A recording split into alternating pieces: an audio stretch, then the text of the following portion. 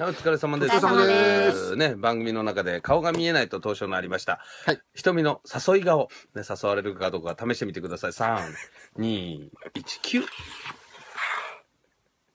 9。もう無理無理、昭和だなんだよよ。昭和だよ。なん手口が。だよね、そんな食欲の秋。はい、そんな食欲の秋ですが。えー今日はキノコをはい。取り上げていきたいと思うんですけどね。ええ。あなたの好きなキノコはどれですか？いろいろありますからね。確かうん僕は、おっきななめこ。略して。おいや、言うなよ。うん言うなよ。言うなよ。危ない危ない。さっきでかいの売ってるんで。うんそれあの、なめこ汁にすると美味しい。もう言いたいだけだよじゃね。違います。俺はねはい、しいたけ。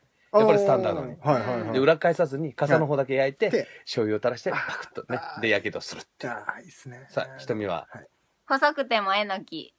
エリンギじゃない？エリンギじゃない。松茸じゃない？松茸じゃない。もう両方好きなんですけうどん、キノコの場合は細くてもキノコ。いいかな。あ、えのき。うんえのき。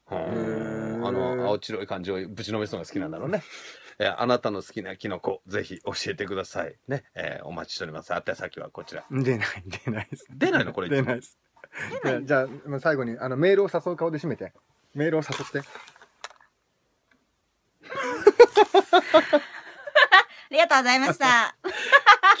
手にベロでつばつけて。